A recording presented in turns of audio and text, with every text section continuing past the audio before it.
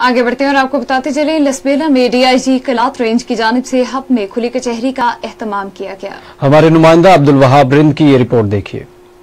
आइट police station की हदूद में शहरियों के जानो माल का तहफ़ नामुमकिन बन चुका है। पुलिस स्टेशन के हदूद में जराइम और कराइम की वारदातें रोज़ का मामूल बन चुकी हैं। शहरियों का जीना अजीरन बन चुका है।